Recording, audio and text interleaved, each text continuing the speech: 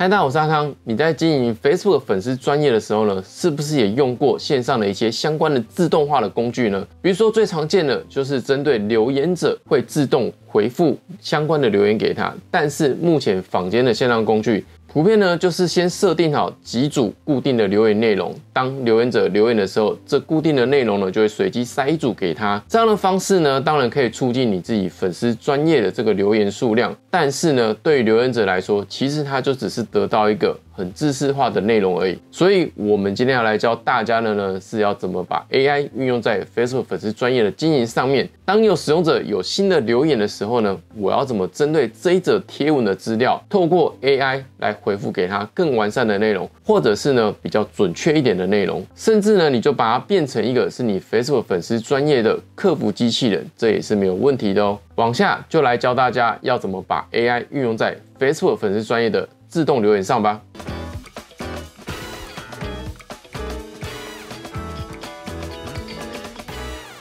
好，今天要跟大家分享的自动化流程功能呢，就是跟粉丝专业经营有关系。那今天教的这个方式呢，除了用在 Facebook 粉丝专业之外，其实像 IG 的商业账号也是可以使用的。不过呢，我们今天主要就是用 Facebook 粉丝专业来作为范例，然后教给大家怎么去使用。大概呢流程会像这样子，就是当你去有功能的部分呢，先跟大家讲一下这个范例。这是我前两天发的一则测试的贴文。直接告诉大家呢，就底下的留言呢，只要有新的留言，AI 呢就会按照你问的问题回复你。好，那我们今天要做的呢，除了是 AI 自动按照内容回复你之外呢，其实你也可以把它限定条件，让它呢只回复呢你提供的资料，或者是你也可以直接回复固定的内容，这都是没有问题的。就有点类似呢，我们前阵子介绍的制作奈的客服机器人，其实是差不多的概念，只是呢我们今天要教的呢是用在 Facebook 的粉丝专业上面。接下来我们就往下来做给大家看。首先，一样呢，我们用到的就是 Make 这个服务。注册登录完成之后呢，我们就可以点击右上角创建一个新的场景。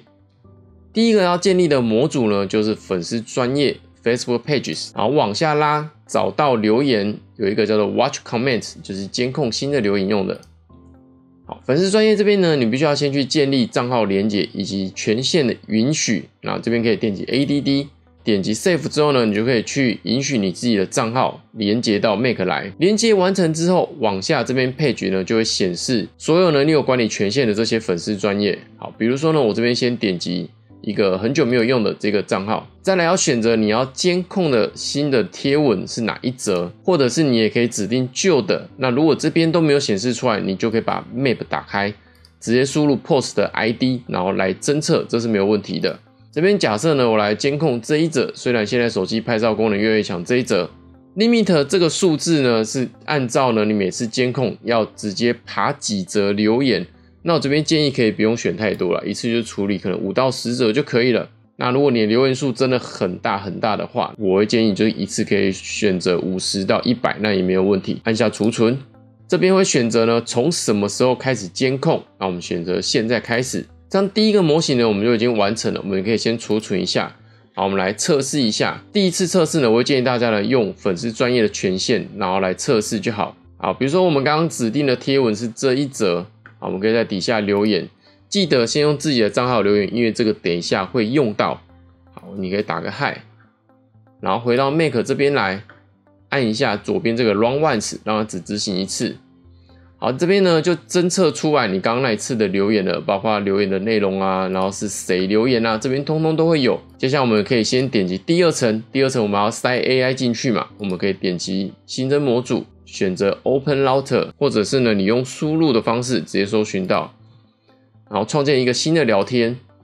这边点击 Add，然后要输入 API Key，这时候我们可以到 Open Router 这边来去创建一个新的 API Key，建立，然后输入名称。自己好记的就可以了，然后按下创建，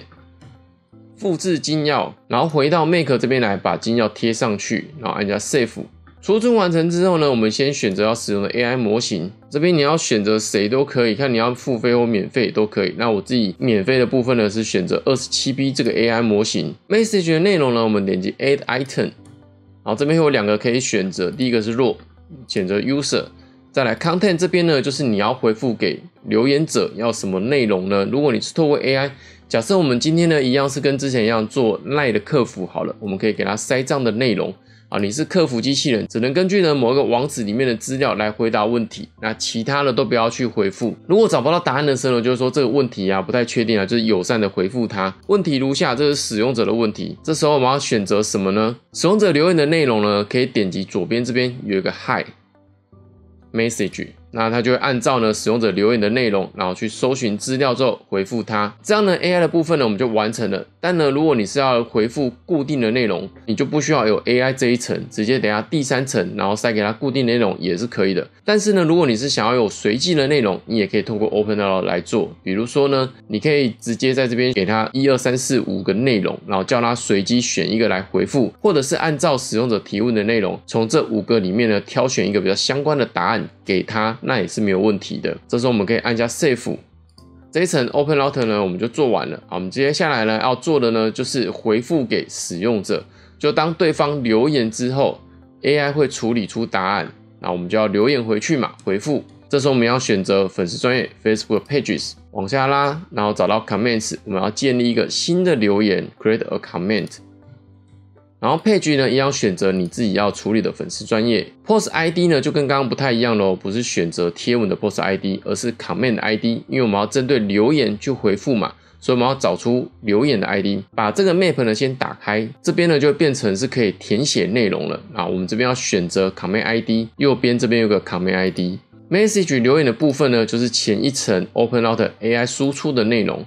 我们把它点开，然后点击这个 content。把它加进来，这样就完成。我们按下 Save，这样就完成了整个回复的流程，然后自动化的去侦测新的留言。不过呢，我们必须要再设定一个东西，就是我们刚前面开头讲到，为什么要先用自己的专业的身份去留言一次呢？因为呢，我们要取得自己的 ID。好，比如说我们刚刚这是第一次是自己留言，From 的这个 ID 是自己的。把这个呢先复制下来，因为呢我们必须要排除接下来监测到留言呢，排除自己的部分。我们在这一个节点这个中间点一下标签的部分呢，你可以随便填，比如说我比较好记一点，就是排除自己。Condition 呢就是你要排除的内容的比对是谁，好一样就是 From ID 这个，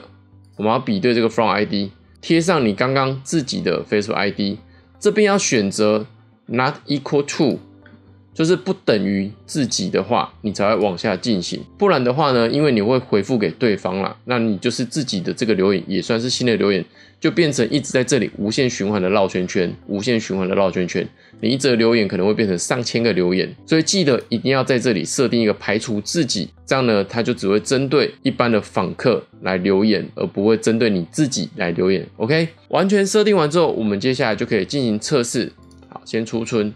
一样呢，我们可以先到粉丝专业这边，然后用个人身份来留言看看。好，首先我们先到我们指定的这一则贴文来，啊，我们来留言看看。这边呢，我们一次回复两则留言来试试看看。第一则呢是跟奈有关系的，因为我们刚刚把它变成奈的客服机器人嘛。第二个呢是讲了一个跟奈资料没有相关性的。那我们接下来可以 run once 来执行一次，然后把这个两个留言回复看看。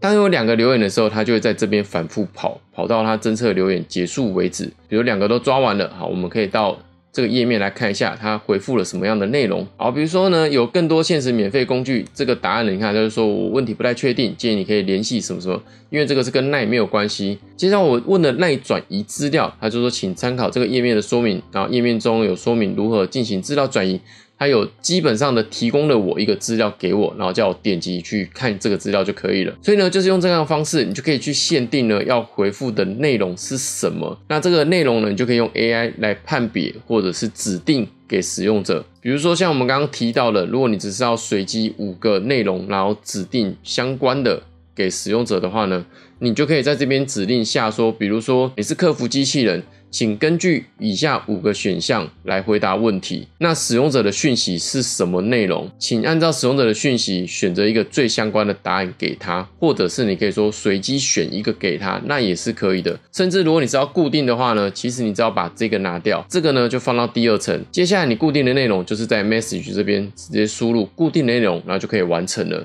这样呢，就简单的制作出一个针对某一则贴文的自动回复机器人。接下来，如果你每一则贴文，或是你有部分的贴文想要继续这样监控的话呢，要怎么做呢？其实你可以用同一个自动化流程，只要把这个 post ID 替换成你新的贴文就可以了，那旧的就会不适用。那如果你是想要继续维持每一则都可以这样回复的话呢，你可以呢回到场景列表这里来，把你刚建立的这个